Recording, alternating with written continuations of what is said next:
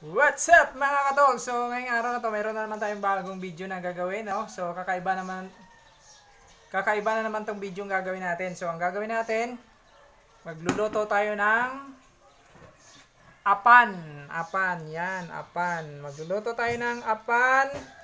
Ito, binili ko to sa halagang 50 pesos kasi nga uso na naman tong apan dito sa amin maraming nangunguha kaya ito nakabili ako ng halagang 50 pesos ito po guys napakuluan na po to siya sa sampalok dahon ng sampalok yan napakulo na siya naalis na rin po yung kanyang pakpak kaya ito medyo malinis na pero huhugasan pa rin natin to kaya yan Matitikman nyo mamaya ang pinakamasarap na luto ko ng crispy apan.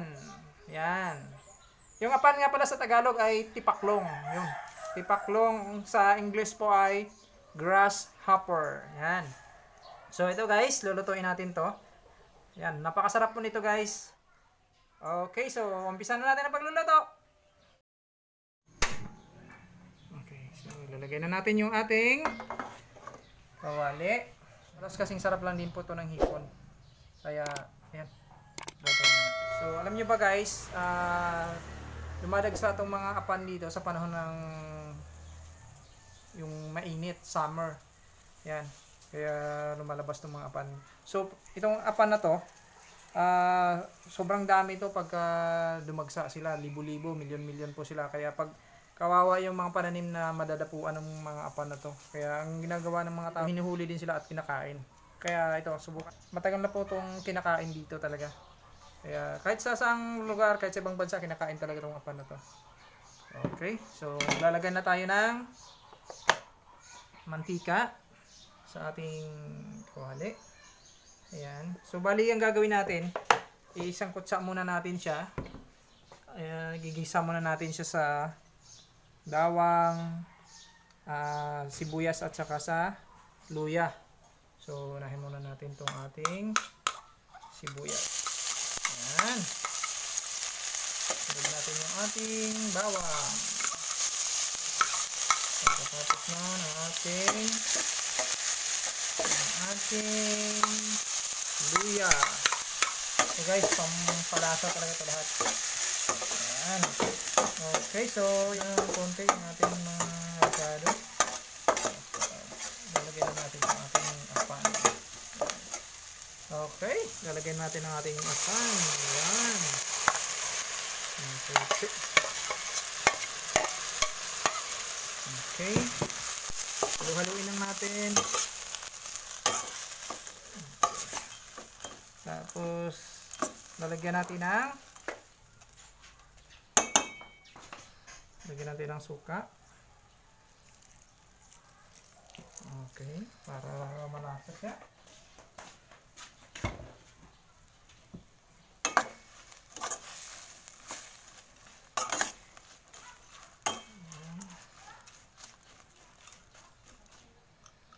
suka. Lagyan na natin yung ating asin. Yun. Lagyan natin ng, kon- ng ating ang asin. Medyo damihan natin ng konti. Yan. So, napakasarap po nito guys.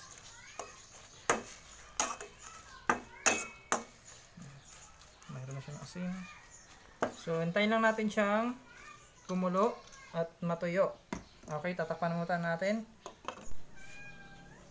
Tanggal. Ayan, kumukulo na siya guys. Ayan, haluin natin ulit.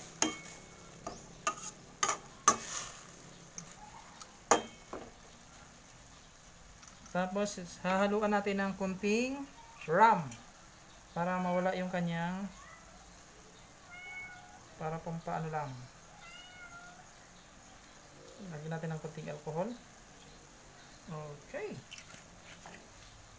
Na alis lang ng kanyang amoy.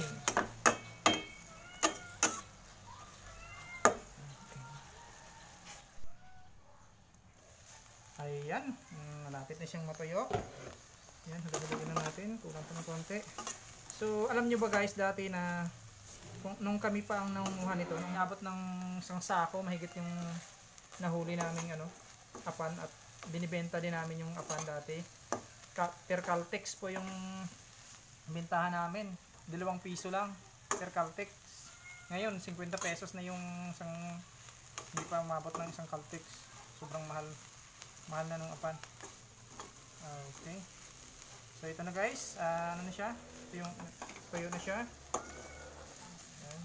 Ah, ayan. Masarap to guys. At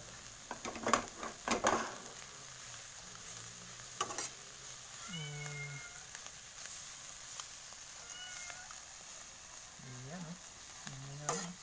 Patutuyuin lang natin siya ng konti pa para pag i- fry na natin mamaya madali siyang lumutong.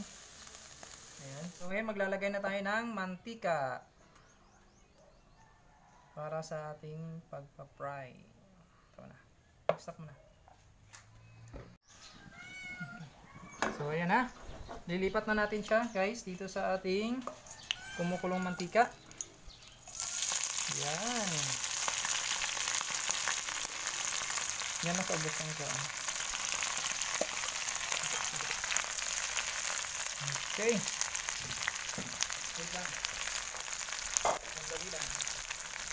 Ayan, haluin lang natin ang haluin hanggang sa lumutong.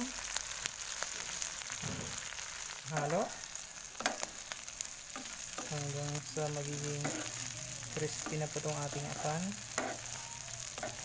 Napakadali lang po siyang lutuin guys. Kaso nga, sobrang kawawa yung mga tanim na madapuan ng apan. Kasi nga, sobrang dami nila. Milyon-milyon sila guys. Hindi lang ilan, kundi milyon-milyon. Sa isang saglit, sa saglit ka lang manguha nito, mapupunan mo na yung isang sako. Sobrang dami ng apan. So, yan. Hintayin lang natin na maging crispy talaga siya. Okay. Stop na.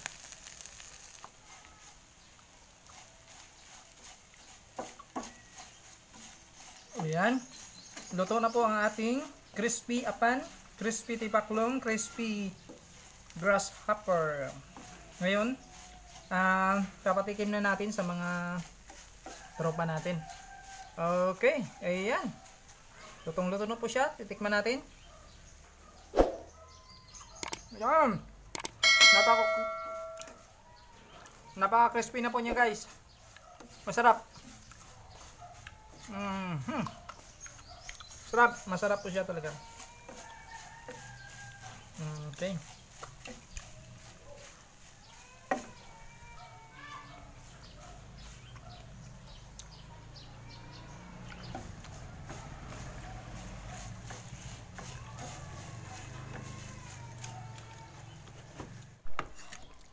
Okay, so maglalagay na tayo ito para papatikim natin sa ating mga subscribers. Siya nga pala guys ha. Ayan. Okay. So, ito ka. Mmm. Siya, mm. Sarap. At huwag niyong kalimutan pala, please subscribe my channel and hit that notification bell para updated kayo sa mga i-upload ko pang video. Ayan, magpapatikim tayo sa mga subscriber natin. Man, tikman mo to oh. Ipapatikim mo kasi ah. Ayan. Grasshopper? Mm. Tikman mo. Wait lang kasi blurred. Hawakan mo na. Okay. Ah, ano, masarap? Ano? Masarap. Ah, Okay. Apan. Crispy apan. Ah, patikim, tikiman lang, tikim, tikim para mm. Okay? okay. ah. sarap. Okay, yan.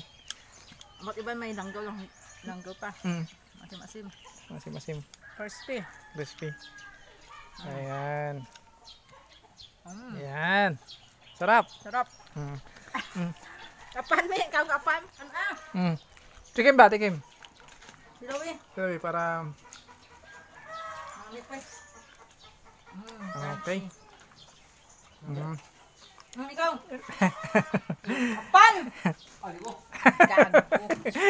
balhin na to, balhin, balhin. Ba- Sa imo lutangan ni. Ah, si, dala lang nanay. Aw, amo ni, amo ni. Mm. Gusto mo apan? Oo.